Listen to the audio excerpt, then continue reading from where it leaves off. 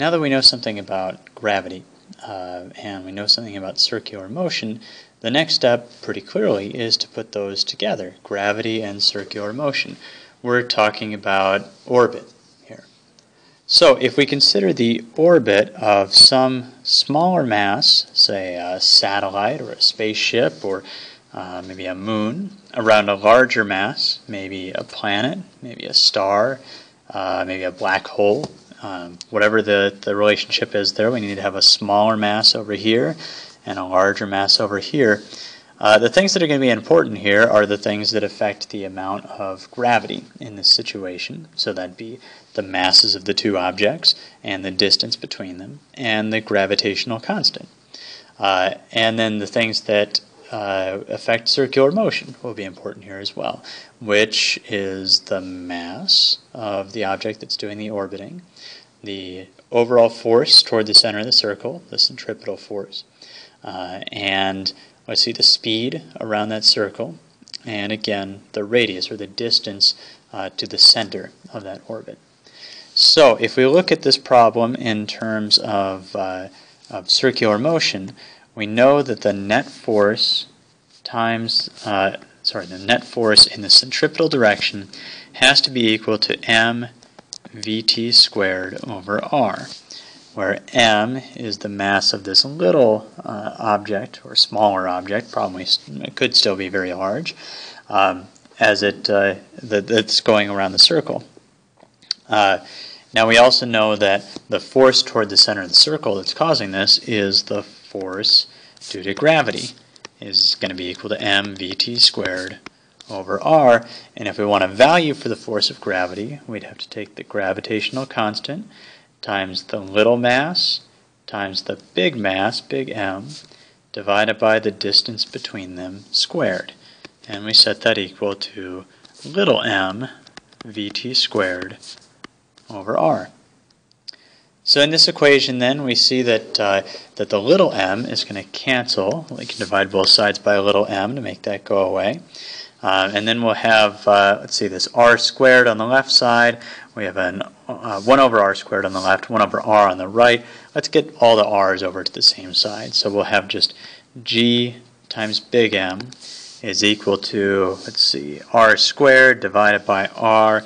That'll just be r times vt squared.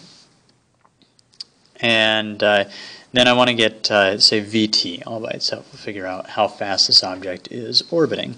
So then vt, if I do a little algebra, vt is going to be equal to the square root of g times big M over r. Now, one thing that, uh, that you ought to notice with this is that little m is gone from the equation. The mass of that smaller object doesn't matter at all. It has an impact on how large the force is uh, toward the center of the circle, but it also has an impact on how much force it takes to move this thing around in a circle. And those two impacts, they cancel each other out. Uh, so the only thing that matters in terms of mass here is the mass of the large central object. We can forget about the little object. So all satellites um, that are orbiting in uh, around the the Earth, uh, since G and M, big M, are going to be the same for those. All of them that are orbiting at the same altitude are also orbiting at the same speed, regardless of how, uh, how big or small that little satellite is, or that very big satellite is for that matter. Uh, if we were to take something like a satellite TV dish um, and place that at the same location as the moon, which would be a lousy place for it because it wouldn't be in geosynchronous orbit, and so it wouldn't work. But if we you know, messed up on our calculations and we put one in orbit at the same distance as the moon, then the moon and that satellite would orbit at the same speed. Now let's let's go on a little bit further. Uh, maybe we're interested in how much time it takes to go around uh, one time, to orbit one time, the orbital period we would call that. So how much time does it take to go around this circle one time? Well, we know the speed at which it's going around that circle, and we can figure out how big this circle is, what the circumference of that circle is. It's just 2 times pi times the radius. So if we want to know the period, the orbital period, block that off, that's going to be equal to the distance, 2 pi r, divided by the speed, which is square root of gm over r. And so our period then is going to be equal to 2 pi times, let's see, we've got an r up top here divided by an r in the denominator of a fraction, but that's square rooted. So this is going to give us a value of r cubed over gm, all square rooted. So now that we've got an equation for the, uh, the period and for the speed, the orbital speed, um, there's one more thing that we can do with this, and that's to rederive Kepler's third law. Now, Kepler's third law says that uh, if we're looking at objects that are orbiting some common central object, then we can easily predict um, the relationship between the orbital period and the orbital radius for those objects. So that comes from the, the period equation. So I'll just move this over and do a little more work with this.